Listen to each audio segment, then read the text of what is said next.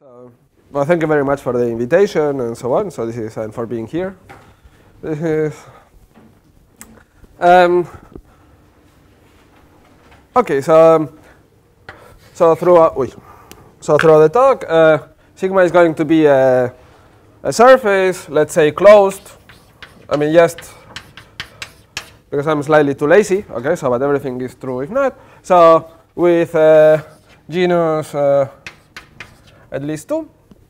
And I'm interested in, in knowing how many curves are there in sigma.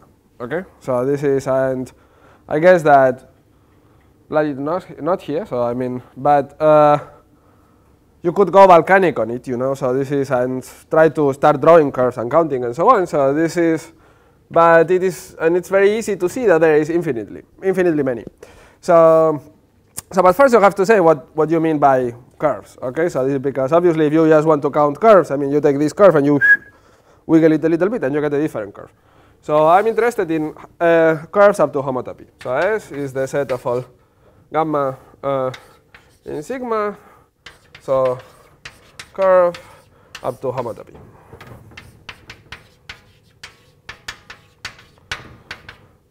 And all right, so this is so there's infinitely many curves, and but still how many? So if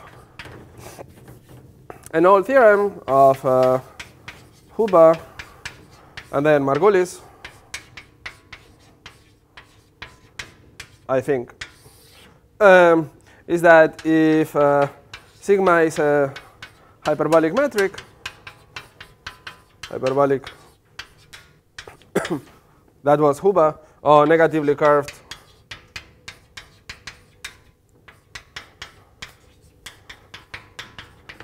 metric on sigma uh, on my surface, then if I take, that's one see when I write here. It feels very dirty somehow. So, sorry. If I take, uh, then I'm, so the collection of curves where the length um, is at most L, so that number grows like e to the L over L, so that is Huber, or e to the HL over L, if this is, I believe, if this is, so an H is the entropy. Okay? Nobody is saying simple. I'm just asking. No, no, this is, oh, my curves are not simple. This is, I'm just, I mean, for now. Okay, so this is, so, so there's exponentially many curves. And what do I mean by that? So because I'm going to write it in for many versions of what sigma could be, it's, I mean, it's the, if it is hyperbolic or negatively curved, that's just the length of the geodesic in the homotopy class of gamma. And uh, if not, I mean, if you have any doubt, it is just the shortest, among all curves in the homotopy class of gamma, the shortest one. Okay? So, so that's Huber and Margulis. So, but uh, all right. So this is so then the, the first question that one can ask is so what happens if I decide if I decide to care only about some particular kinds of curves? Okay, so like simple. So this is what if I fix the type. So simple or not simple is uh, is not the precise right question. Okay, so the precise right question is so what you want is to to take s gamma zero, so fix gamma zero in S a curve, okay, and S gamma zero is just the set of all gamma such that which differ, so there exists a diffeomorphism or a, more precisely a mapping class such that phi of gamma 0 is equal to gamma. So, I mean, if it is, for example, this allows you to say being simple non-separating is a type. Okay, so this is being simple and uh, cutting off uh, uh, a, a puncture torus is a type. Okay. All right, so suppose you fix the type, then there's a theorem of, uh, so, so, so then counting, counting how many curves are there in a given type, okay, so this is oh, of some type, I mean there is a lot of work about that, so, so Rivin and McShane did things, and I think Rivin or McShane and Rivin and I don't know, some different combinations. And, uh, but who, so, Mir. Sahani, and I think I wrote it right. Um, without even looking. Uh, so Mirzakhani proved that if uh, sigma is a hyperbolic metric,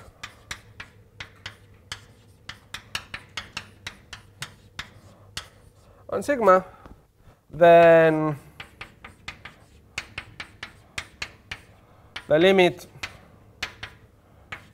lim L to infinity, and then, all right, you take the number of uh, curves of type gamma 0 with length at most L. So that divided by L to the 6g minus 6 exists. Exists and is positive. Okay? So that Maryam did. And so she did first for simple curves, and then she did it more recently for curves which are not simple. So this is, and then, so the proof that Maryam has of this uh, is, is very, very hyperbolic. I mean, because, so she uses, uh, for example, things like trace relations, okay, so which you cannot have if you are in a negatively curved situation. So this is, but um, a sort of complementary theorem is uh, something that, uh, so I prove with uh, Viveka Erlandsson.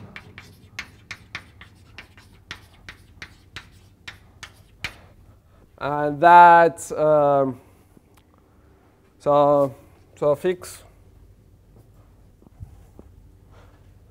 Okay, so I am sorry, I am spacing out. So before I say what the complementary theorem is, I need to recall something. So this is, so let's make a small excursion.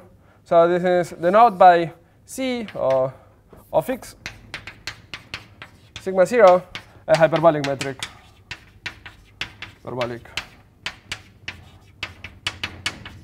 metric, just to be able to speak about things. And then C or C of sigma is the space of geodesic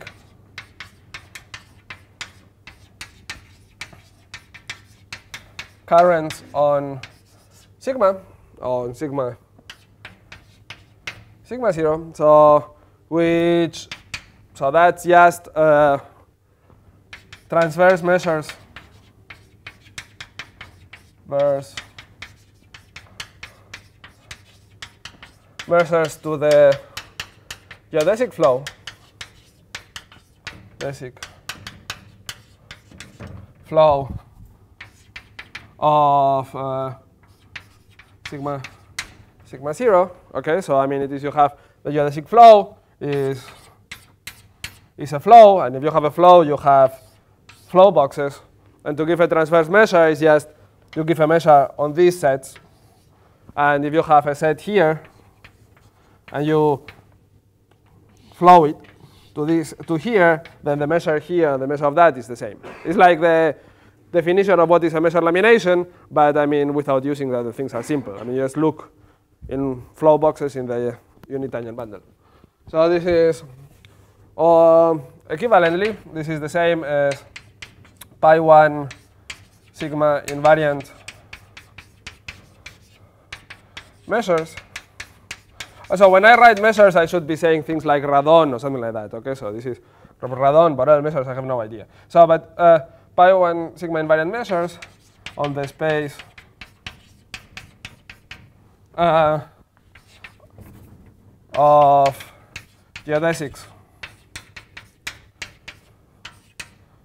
of the universal cover of sigma. And so, well, that space is, uh, you take the boundary of the universal cover, so that's the circle, times the boundary of the universal cover without the diagonal modulo the flip. Okay, so that's the space of geodesic currents. And um, so to speak about it, you need this metric sigma zero. Okay, but it is independent of the metric sigma zero. So that's just uh, a tool that you that you consider have. Okay, so that's the space of geodesic currents, and I'm going to need two facts about them about uh, geodesic currents. So this is or a few facts. Um, so first, I, I and so the space of geodesic currents is a space of measures. So this is endowed uh, the space of currents with the obvious topology, with the weak star topology. Okay, so this is, and now I can state my two facts.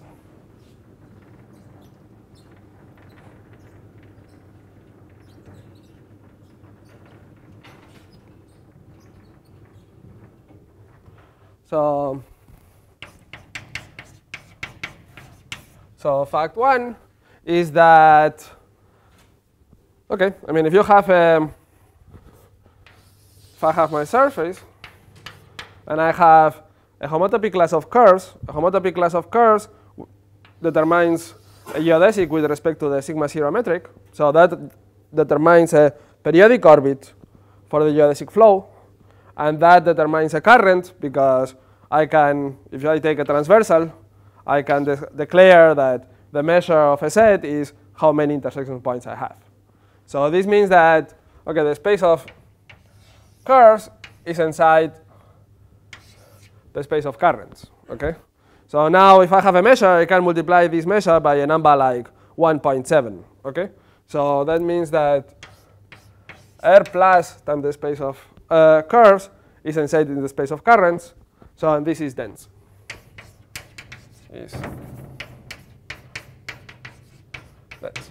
Okay. So that's uh, if you have any any current, you can approximate it by a weighted periodic curve. Okay. So that's uh, one thing. And fact two is that uh, so the geometric intersection number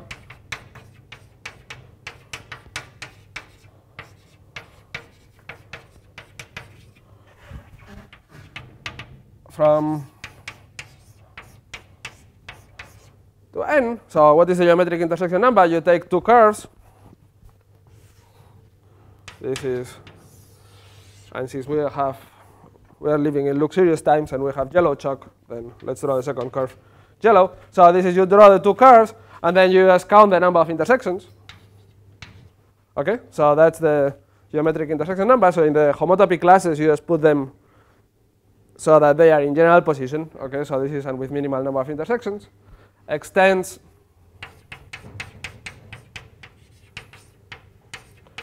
continuously. New Okay, I have no idea how to write continuously now.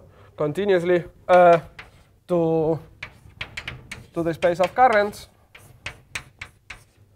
in a homogeneous way. And by homogeneous, by homogeneous. Okay, so meaning that E of T lambda mu is T E lambda mu is E lambda t mu for all lambda mu in C and t in R plus. Sorry? Ah, I go to R, yeah. Bonjour. Um, okay, so that's the, um, so that's everything I'm going to need about currents. Okay, so this is if uh, uh, if you know what measure laminations are, then you can, and you don't know what currents are, you can just think about currents being measure laminations where the lamination is not simple. Okay, so this is the geodesics may intersect themselves. I mean, I'm cheating a little, slightly, but it's okay. So okay, now I can state the theorem. So Viveka.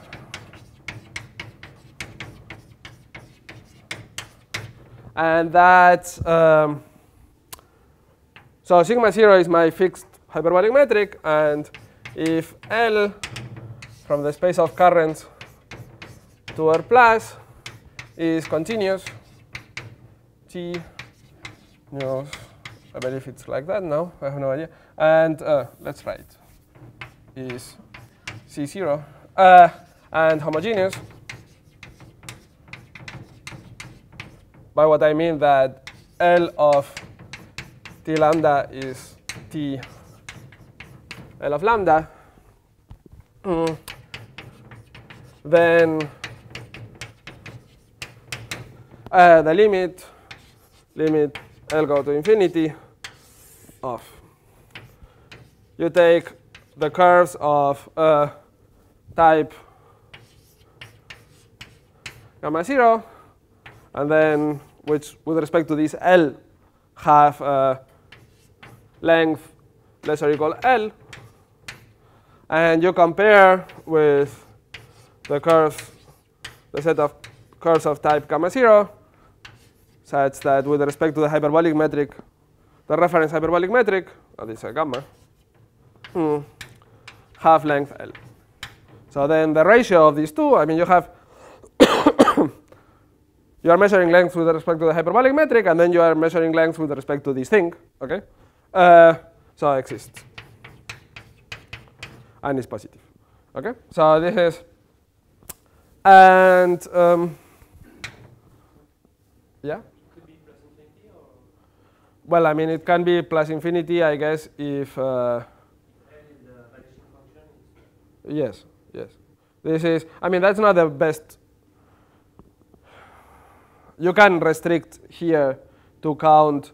So if, if, if you have a function like that, I mean, the, the part where the support is a cone, okay, or something like No, not a cone, but it's, okay, so it's scaled. So you can restrict, you can make sense even, you can say something even if you have functions like that, better than that it's plus infinity. Okay. So, um, so I wrote this theorem so that, uh, because so this theorem has nothing to do with, the proof is completely different of Mirzakhani's proof. Okay, so this is just two completely transversal things. But if you combine them both, so the corollary, okay, so this is if you take what, uh,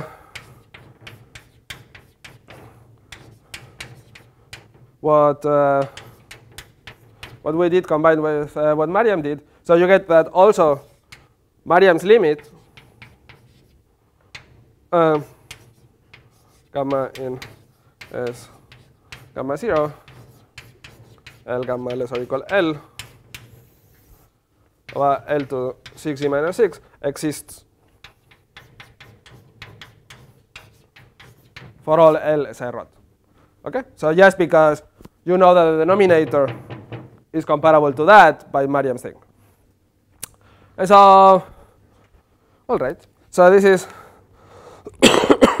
so examples, I mean, so, so you can, that's a completely idiotic way of writing things, okay? So, but uh, if there were no examples of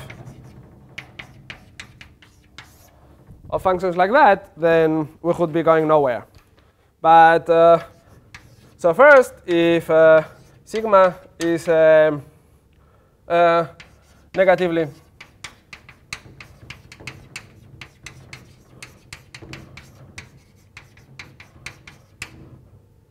curve metric on on sigma, then there is a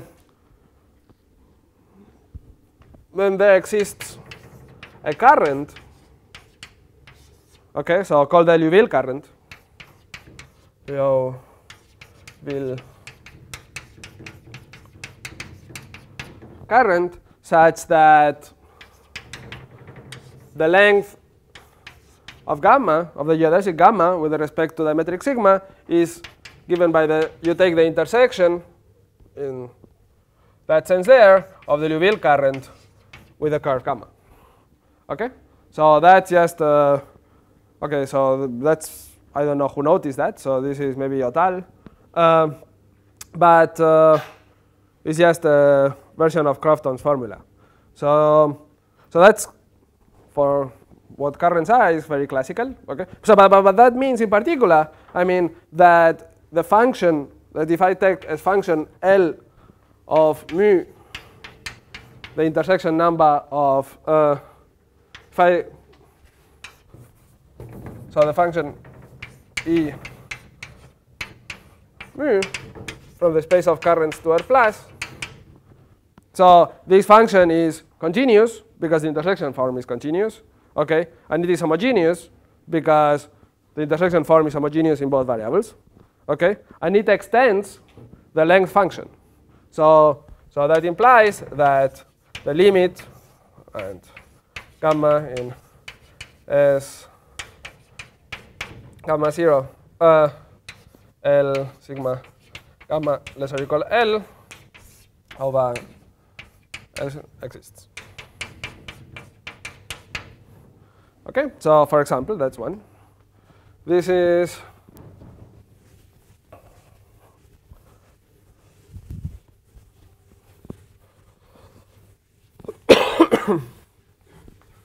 then I mean, so you could also, so, so here I have been measuring length of curves with respect to a negatively curved metric, okay? But I could also measure lengths of curves with respect to a combinatorial, in a combinatorial way. So, for example, and that's a much more obvious example, so you take, that's my surface, and I take a, a pants decomposition like that, and another pants decomposition like that. And I call this collection of curves uh, eta. Okay? So then if I take the length with respect to eta of a curve gamma being how, so I look how gamma intersects eta, okay? So this is the intersection number of eta and gamma. Then that obviously extends again by the same in the same way to a function e so L eta dot equal dot from C to R plus, okay? And again, the same limit exists, okay? So this is, so um, then three, and this is something I find absolutely surprising. That's a theorem of Viveka. So, um, I mean, I find it, yeah, very curious actually. So this is if um, S in, because I mean, so if you, if you think about it, I mean, so you can measure length of curves in many, many ways. Okay, so this is you can measure using Riemannian geometry, you can measure using combinatorics. Okay, you can also measure as you could measure in a group. Okay, so this is you have a group, you have a set of generators, you can look at how so a curve represents a conjugacy class. Okay, so this is, and now you just minimize the word length. Okay, so this is, and if S inside pi 1 sigma is uh, simple, and I'm going to define that in a second, uh, generating set, set, then there exists lambda s, a current, um, such that for all every, for every curve you have the intersection of lambda s with gamma is the the length, the word length, okay, of gamma. By what I mean, you take. It's also true if you do it in the base in the based but uh, so just taking the conjugacy class of gamma, okay, so you just minimize the word length. This is, and what means simple, uh, ah, so in particular, okay, so again the, the limit exists.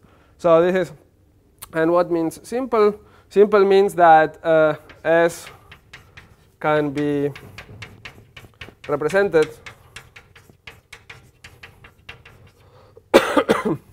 by disjoint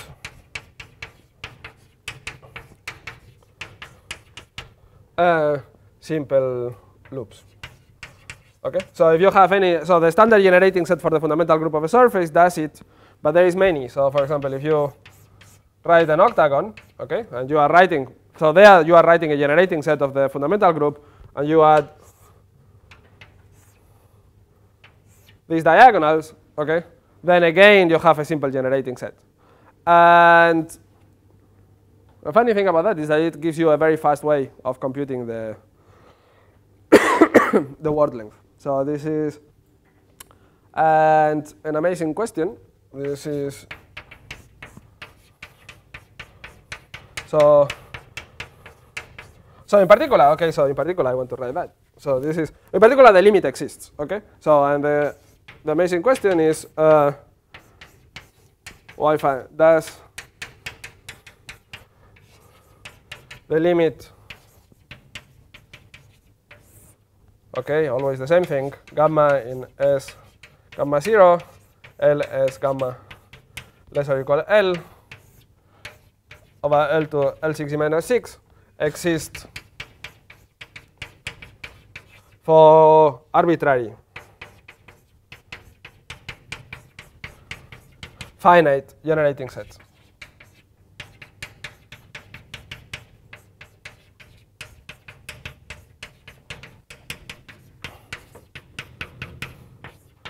So seeing what Vivek proved, I believe so. But I have absolutely no clue how to prove that. Because, yeah. I mean, also, there is no algorithm. Uh, so if, if, if a curve is simple, there is an algorithm to detect in a surface group if a curve is simple or not, I think.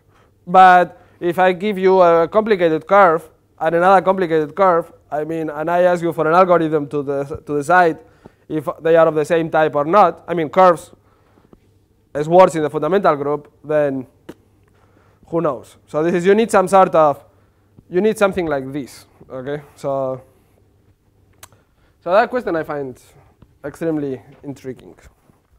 Okay, so, and so the final one is, um, let me write it here. So it's a Riemannian metric. Okay, so possibly, possibly with positive curvature. Okay, so this is just a, a weird metric. Uh, so this is something uh,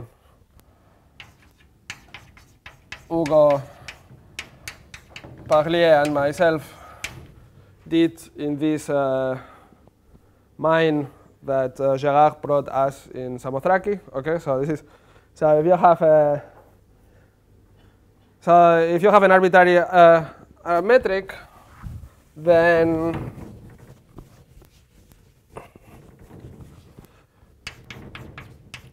then the length function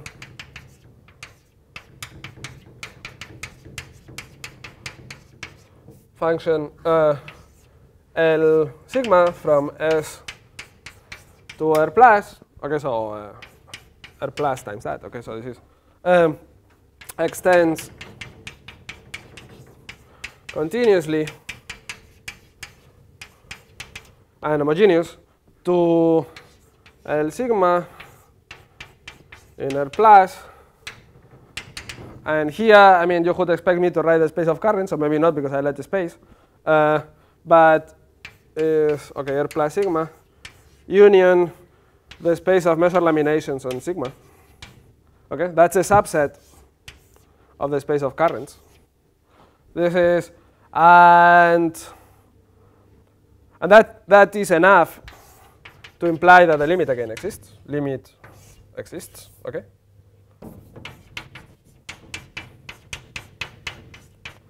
So one has to go through the proof of what uh, we did. Um, and another, but that's a, a really, really, really, really, really strange thing because, because in all of these dynamic, I mean, so, so okay, it's not when you work with currents. I mean, this is something dynamic. So this is so it's not very clear how you use that things are simple. Okay, so but this is definitively used. So this is, and I have no clue if uh, if L sigma extends to C. Okay. So one day I think this, the other day I think the opposite. Okay. So so all of that was. Um, so if you if you want, so that says that if you want to count, I mean, you have some notion of complexity of a curve. Okay. So this is, and you want to count how many curves of some type, let's say simple, are there with that notion of complexity. Then what you have to check is if your notion of complexity extends to something like the space of currents or something slightly cheaper, okay, this is in a continuous and homogeneous way. And then if it does, then you have one. And okay. So so, but I mean, I uh, but the title of the talk was counting curves. I mean, and nobody said anything about uh, curves of given type. So the sort of um, transversal question is how many many types of curves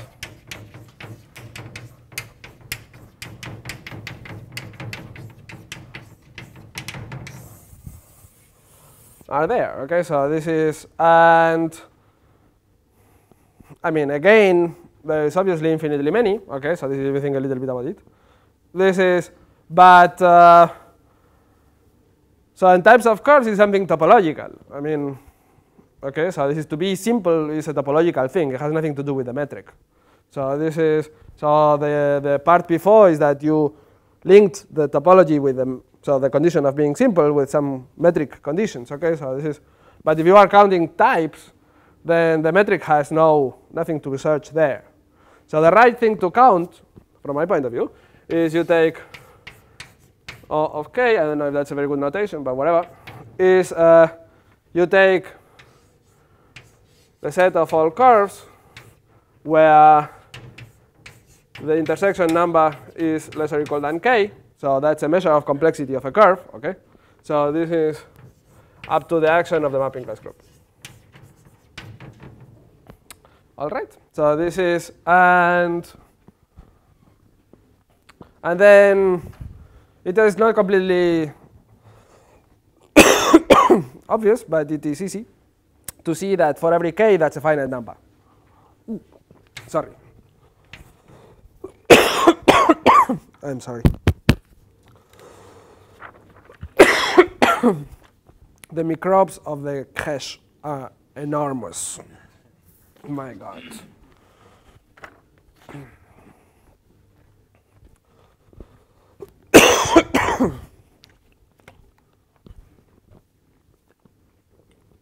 so, okay. So this is oh, zero is how many types of of simple curves are there. Okay, so this is, and if I am not wrong, that's something like you take g over 2 and the entire part of that plus 1. So as a matter of example, if you have a surface of genus 3, a curve can be non-separating, that's 1, okay? And it can separate, and that's g over 2. Okay, so this is because you it only matters how it separates the two halves, and so and O of one. I mean, I made a computation yesterday, so and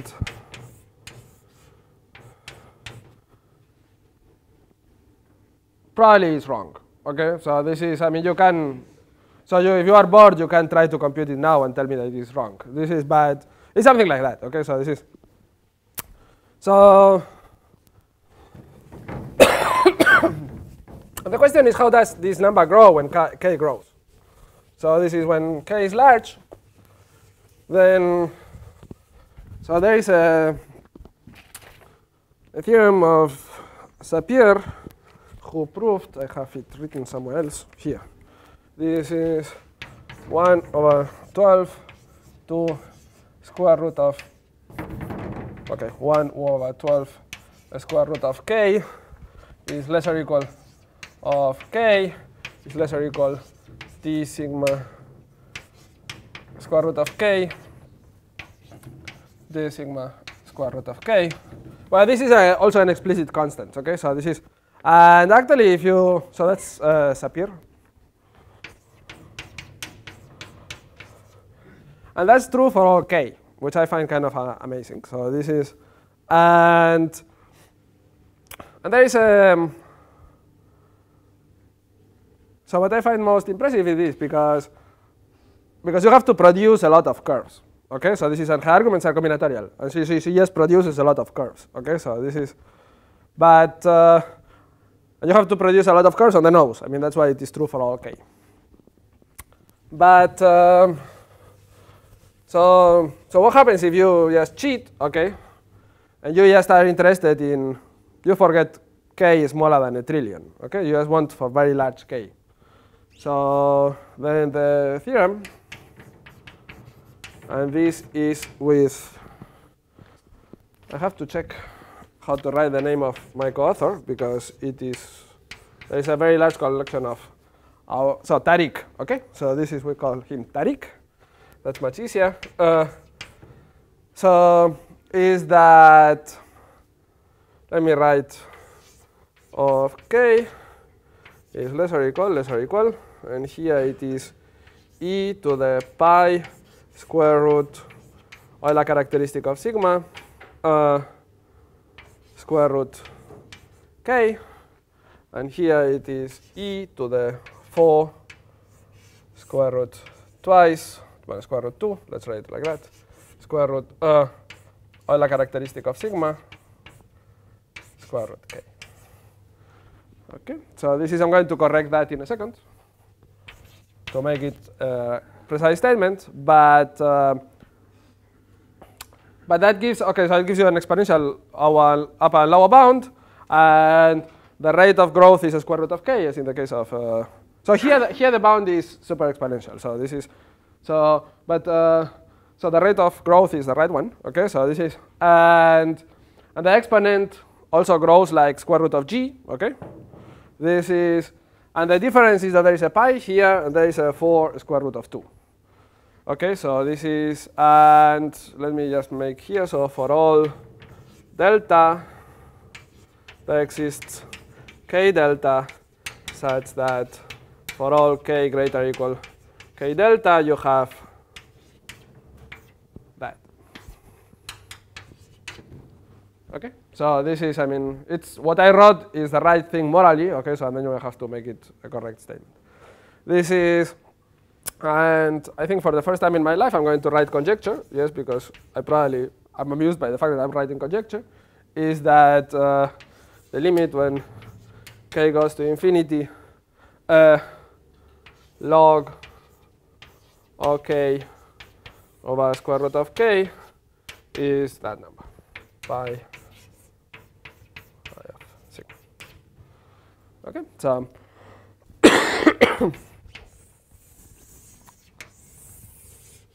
So I mean, if I have to choose between two numbers, so there is two reasons, okay, to choose that. So this is, so, so first is that I have two candidates. I have this candidate and that candidate, okay, so this is, and one of the sides of the work must be optimal, okay, obviously. So this is, and this number is nicer than 4 square root of 2, okay, so that's, uh, and then there's a second argument that is that, in fact, I mean, I didn't compute the number, or we didn't compute the precise number, but one can reduce this estimate. Okay, so this is there is a you can find a you can replace this by this for some epsilon zero. Okay, so this is that I didn't compute. Okay, so until when do I have? Uh, until uh, 1020. 10, 20. Uh, sorry. Uh, 20 minutes. Ah, fantastic. Okay, so then, I mean,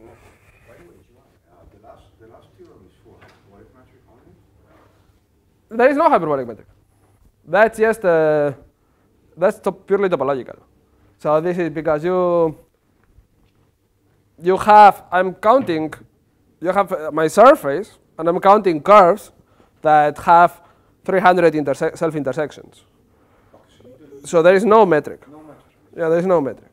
I mean, there is metric, but there is no metric. But there is, so the metric you will see in a second. Okay, so this is, uh, but, um,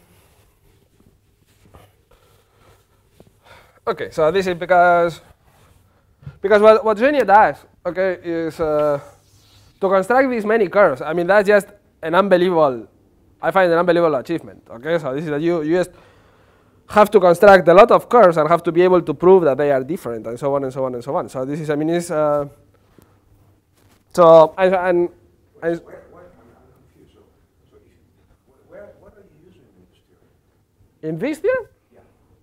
How, do, how do you prove it? I'm going to explain the proof in a second. So this is um, okay. So this is so so we don't construct any met any curve. Okay, so there is no curve we construct. So this is so so let's let's prove this. So I'll prove. Okay, and let's give first the lower bound. Lower bound. And so there is a so so so you start by fix x uh, hyperbolic hyper hyperbolic structure on sigma. Okay, so when I write x, I consider it as a hyperbolic surface.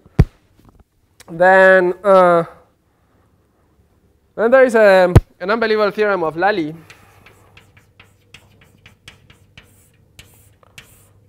So, so as I said before, ah, so, so whenever I write now things, I'm going to, so as I said before, there is e to the L over L, which I mean I'm going to just shorten to e to the L. Uh, so because I have my deltas, I can always do that. Okay, so this is uh, e to the L so e to the L geodesics in X occurs in X of length lesser equal L. Okay, so that I said before.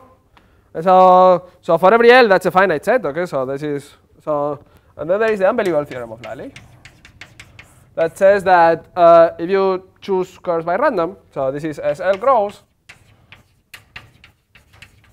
uh, random um, yeah, there's curves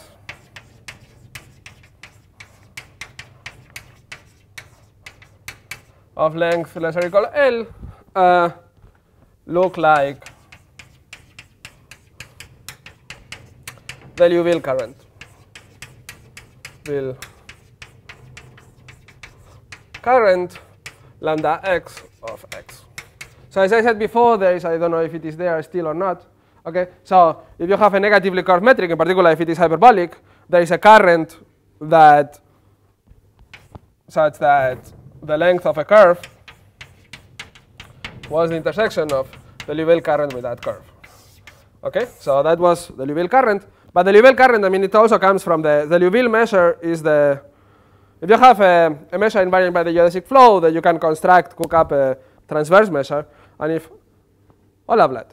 Is, and if you have a transverse measure, you can construct a measure invariant by the geodesic flow. So these are the same thing.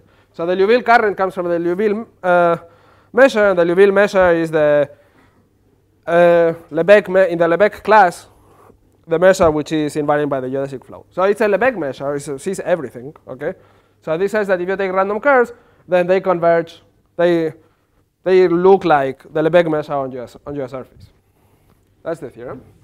So in particular, if you take uh, random curves gamma, ah, so by, by, by that I mean you just you have a finite set of curves and you choose by random. Okay, so this is now now in particular. So that means that the intersection.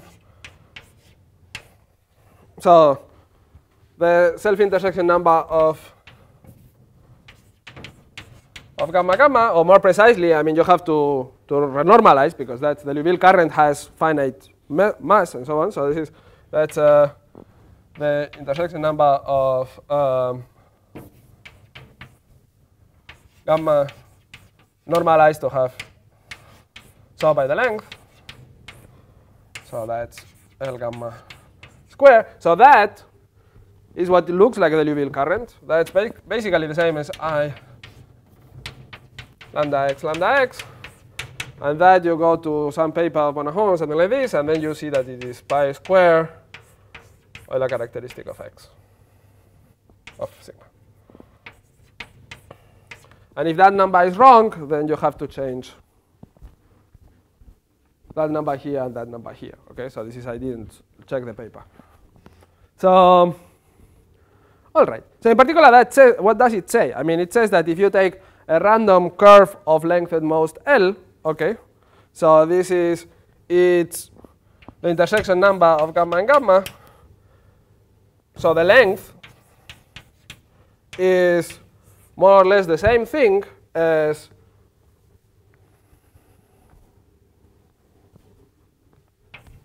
pi square root sigma uh, square root of e gamma gamma. Okay? So, so that, that gives you a way of producing. So that means that because this is, you have exponentially many curves, okay, and this is by random, okay, so this is random means most of them. So this is, that means so you can produce, one can produce so e to the pi Euler characteristic sigma square root e gamma gamma uh, curves with e gamma gamma and most k. Okay, this is because this allows you to translate length into intersection number. So, and then fact that I'm not going to explain, but it is just because it's, it's not very hard, but it is uh, fact. So every, if I take this set of curves, the set of curves I produce like that, then every mapping class group orbit.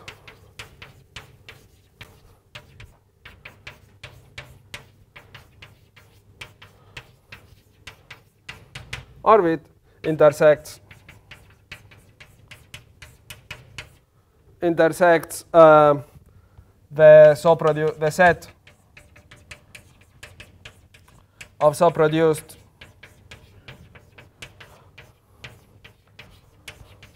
curves only polynomially, only polynomially many times in k times.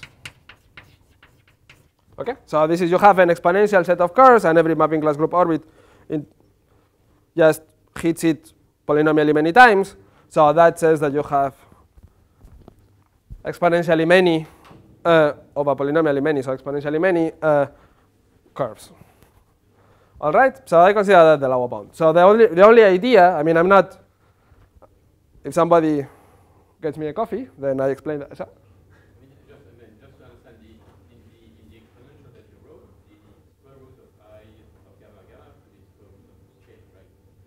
Uh, right. Right. This is so so that's that's not hard, but let me I want to talk about the upper bound too.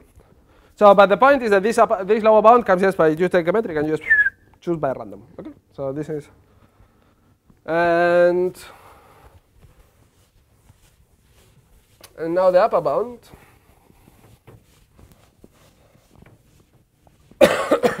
So the upper bound is based on the following lemma that I find cute. And it is that uh, if uh, gamma is non-simple, okay, so this is if not, the statement makes no sense, but if gamma is not simple, okay, so not simple, non-simple, and say filling, okay, because otherwise it does not really matter, but so it just intersects every every curve. If not, I am living in a subsurface. Okay, so this is um, family is not simple uh, or filling. So uh, then there exists rho gamma, a hyperbolic metric. Oh, let's write sigma gamma. Sigma gamma, a hyperbolic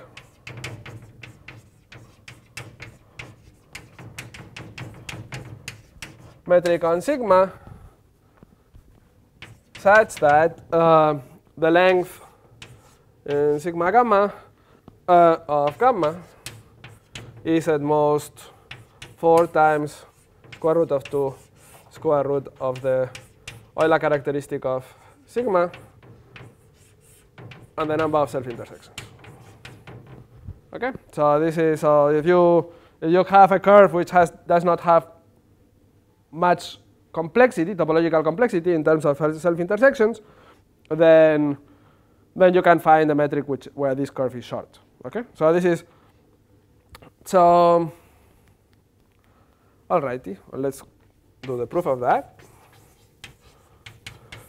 This is so. What do you do? Okay, so you have the surface. So you just draw the surface. So you take you draw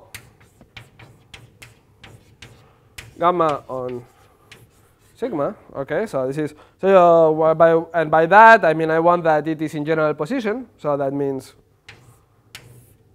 there is no triple points. Okay, so this is and I also want that there is no bigons. So I don't. So I don't want that. Okay, so not that and no bigons. Okay, so just draw it in an honest way. This is, and what are you seeing? I mean, what you're seeing is a graph in your in your surface, right? So this is, and so a graph that cuts the surface into small polygons because my curve is filling. So and now um, extend, so you consider gamma as a graph, okay, extend gamma to a triangulation.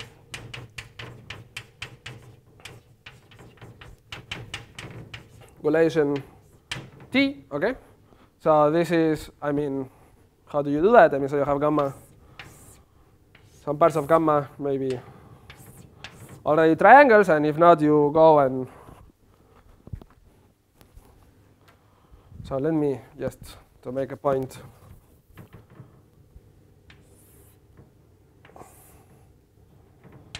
So this has sizes, okay? So this is, and then you can you can so if you have uh, if you have a polygon like that and you want to triangulate it, okay, so this is you can go volcanic, okay, and do this. This is, or if not, I mean, you can do this. This second version is better, okay, because this does not increase the degree. So this is, so but anyways, so you choose whatever you want to do, and then you extend gamma to a triangulation. And then by Koebe, or one of his cousins, uh, so tells you that there is a hyperbolic metric. So there is a hyperbolic metric um, x, okay, no, uh, sigma gamma on on sigma with respect to which uh, T is dual to a circle packing.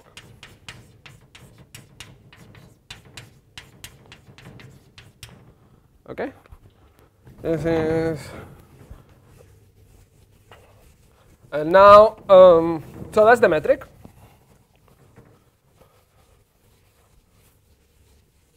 And now you,